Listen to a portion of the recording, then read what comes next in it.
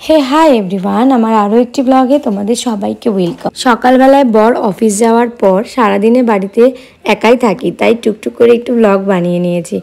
যখন আমার মেকআপের ক্লাস থাকে না বা আমার একদমই কোনো কাজ থাকে না, তখন আমি ভ্লগই বানাই। আর এমনি দিন তো মেকআপের ভ্লগ তোমরা দেখোই সব সময় আজকে কোনো কারণ ছাড়াই আমার মনটা খুব খারাপ ছিল সারাদিন, জানি না কেন। আর এমনি এত গরম, এত রোদ মানে কিছুই ভালো লাগছিল না।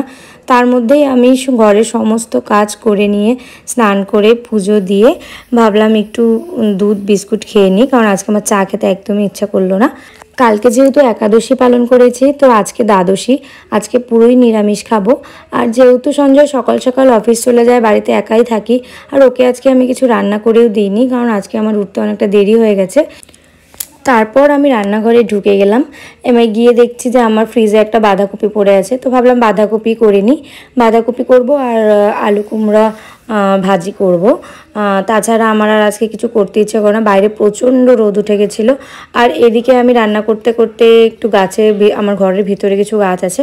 সেই গাছগুলোতে আমি একটু জল দিয়ে নিই সবসময়তেই, কারণ ওরাও এত গরমে সব শুকিয়ে যাচ্ছে। আর আমার রান্নার রেসিপি দেখতে হলে খাদ্য রসিক চ্যানেলটিতে গিয়ে তোমরা সমস্ত রেসিপি দেখতে পাবে। সেখানে আমার বাঁধাকপি রেসিপিটাও দেওয়া আছে, নিরামিষ বাঁধাকপি। আর এদিকে সন্ধ্যাবেলায় আমার যা বলছিল যে বাইরে থেকে চল একটু কিছু খেয়ে আসি। তো ভাবলাম বাড়িতে যখন আসি একা একা, তো ঠিক আছে, যাওয়া যাক। তো আমি রেডি হয়ে ছনকে এখন রেডি করে আমরা বেরোবো। মানে আমার বাড়ি আর আমার বাপের বাড়ির মাঝখানে একটা দোকান আছে, মধুবন।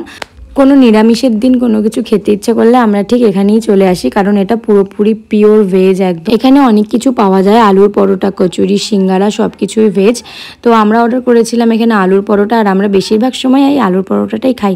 এটা প্রচণ্ড টেস্টি এখানকার খেতে, তার সাথে হচ্ছে একটু ঘুগনি দেয়, আর একটা আচার দেয়, যেটা খুব খেতে টেস্ট তো এবার বাড়ি চলে আসলাম। বাড়ি চলে এসে আমরা খাওয়া দাওয়া করতে না করতেই ভাই ফোন করল যে রিয়ার বার্থডে সেলিব্রেট করবে। তো তখন রাত বারোটা বাজে আমরা রিয়ার বার্থডে সেলিব্রেট করলাম। রিয়াকে নিয়ে আসা হয়েছিল। তারপর সেলিব্রেট করে এবার সবাই ঘুমোতে যাব। তখন রাত সাড়ে বারোটা পৌনে একটা বাজে। তো আজকের ব্লগটা এ পর্যন্তই। দেখা হচ্ছে নেক্সট ব্লগে আজকের ব্লগটা কেমন লাগল তোমরা অবশ্যই জানাবে। আর রিয়াকে সবাই বার্থডে উইশ করে দিও। চলো, টাটা বাই